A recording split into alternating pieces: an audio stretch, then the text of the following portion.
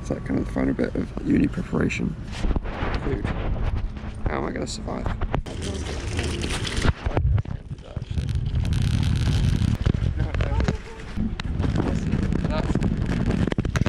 You get the point, we're going to Tesco's.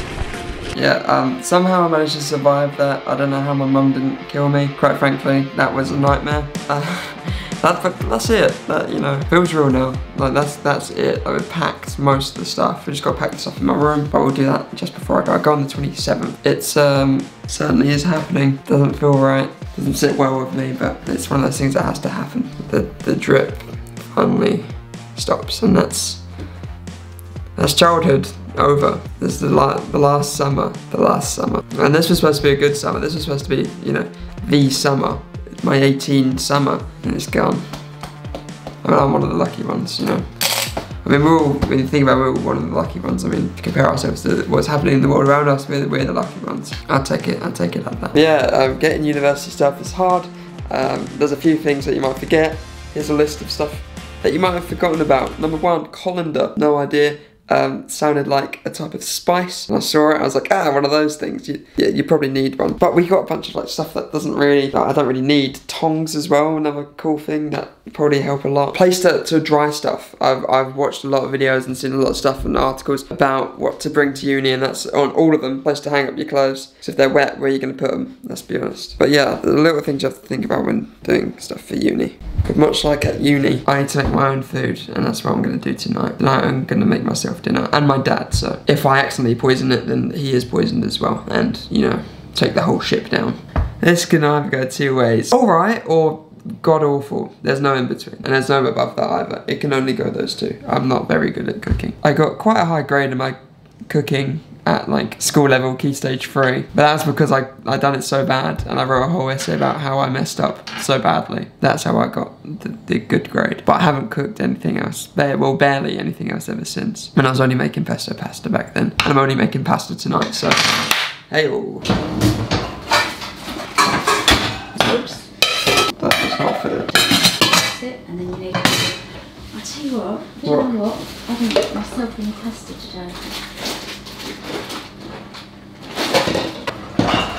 we forgot to get pasta this is obviously not like it was the first step of failure and of many probably most likely many Return to the boil and cook for 11 to 13 minutes according to taste. Come with water. water that's right Yeah. Oh no, that's far too much. Too much? Yeah. Take half out. bring the water to the boil You are.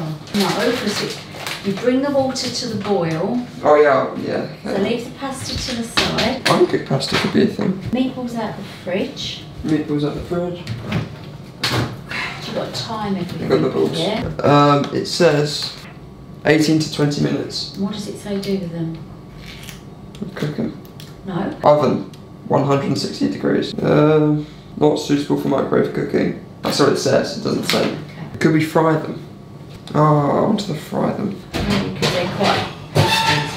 How do I usually fry? Just oil and then Just a little bit of oil. how much? How do they take longer? And how much quicker would it take to fry them? I- I'm asking quick. It's not on. I'm turning it on now. Right. To 200. So yeah. it is at 200. Right. It does say 18 to 20 minutes on 200 Yeah. on 160. So would it Yeah, be? so just put it down. Garlic bread out. Garlic bread. Look at the garlic bread. I'm trying to help you by looking at the labels. That's what I'm doing. Can we fry this as well? So you take it out of the wrapper and put it on a baking tray. Oh, I'm trying to like. You see, I just do it. I What, don't need to what, look at what am I doing? No, because I'm trying to tell you, you don't put it in yet. What do you mean? Yeah, that sounds good. Yeah, mix in with the sauce. Yeah, Yeah. that sounds good. go? No, other side. What about lime? Right, there's also a pack of mushrooms. The mushrooms, put them in the water. Open the mushrooms. Mushrooms are really weird. No! What oil? Spray! Do I need to rub it in? Oh my, It's not really coming out. seriously. It's not working. Oh, that works. That works, doesn't it? Get a bit of the Dutch tilt on this one. Uno. I could have got to use a nice chopping board rather than the one that's been in the dishwasher and got orange. That's what happens. It's not naturally orange. Oh no.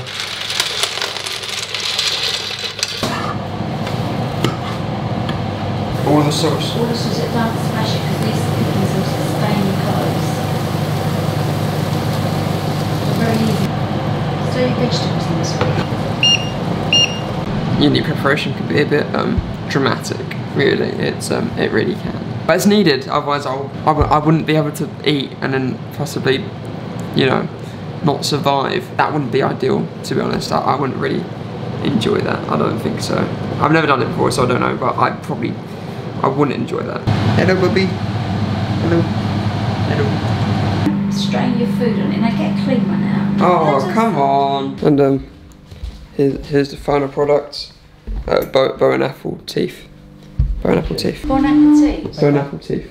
Wow, look at that. How do you, how do, what do you think, Dad? Looks really good. It's nice. It gives me confidence. It's going to taste it, and it's going to taste awful. Oh, hiya, lads. How's it going? Um, good evening, and um, I think I'm going to end it here. I'm surprised it's actually edible. I think so. It's only been like an hour. It's quite dark. I just wanted to say, um, because the next video is going to be a bit crazy, but I'm sure I'm going to do a video about it. But you might want to stick around for Friday. Have a good one. I will see you soon, and good. Oh, like, subscribe, share, do whatever you want with the video. That'd be cool. And I'll see you in the next one. What's tomorrow? See you, lads, and goodbye.